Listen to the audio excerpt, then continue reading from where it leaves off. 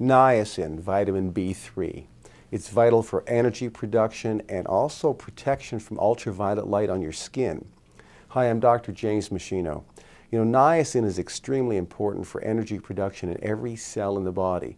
So deficiency states of niacin show up as skin uh, damage or dermatitis of the skin. Uh, the brain stops functioning. A type of dementia shows up if there's not enough niacin the, the, intestinal tract cells can't reproduce properly, so you end up with diarrhea and gastrointestinal symptoms that are quite severe. And also a sore mouth, angular stomatitis, that's cracks here in the corners of the lips. And, and so they've looked at supplementation studies with niacin, because niacin seems to be multi-purpose.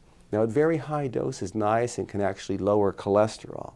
It can also lower triglycerides. It can raise the good cholesterol known as HDL. But my concern is that high doses of niacin can also damage the liver. So you can't just put yourself on a high niacin program because liver monitoring needs to be done through blood work by your physician. To lower cholesterol in most cases, I prefer to use two natural agents, gum guggul and artichoke leaf extract, which I write about on my website, because these are natural things that don't really cause a lot of damage and, and can are extremely non-toxic and, and, very effective.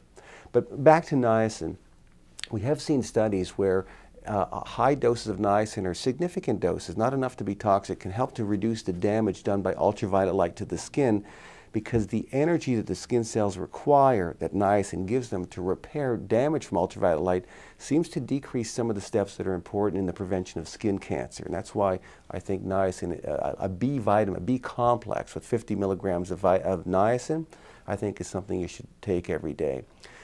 More recently, we've seen that um, in Alzheimer's disease, there's three things that happen. The brain stops making a lot of the memory chemical acetylcholine.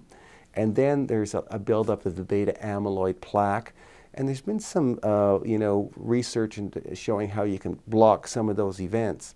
But the third part of Alzheimer's disease is the formation of these what are called neurofibrillary tangles, which basically destroy the brain cell. And no one really had any answers to it. Well, recently some animal studies have shown that niacin at certain dosage, very high doses, has been able to block the formation of neurofibrillary tangles in certain animals that are predisposed to Alzheimer's disease. And so human studies will probably follow very shortly. In terms of niacin supplementation, if you're going to be taking it as a supplement, uh, some, uh, at high doses, uh, it's contraindicated in people that have gout or an active ulcer or if you have liver and gallbladder disease. You cannot take high doses of niacin. Those problems will get worse. So you see it's a bit tricky. So what I suggest with respect to understanding niacin is click on the link below, read my article. It'll help you understand how to get the optimal amount of niacin or vitamin B3 and how to use it as a supplement for various health conditions in a safe and effective way.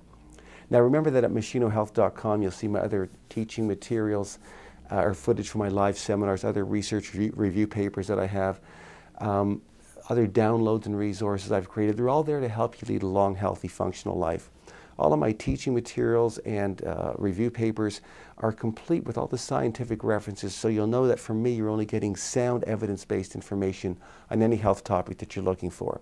So you should make meschinohealth.com an ongoing reliable resource of health and wellness information for both you and your family. Thanks so much for watching.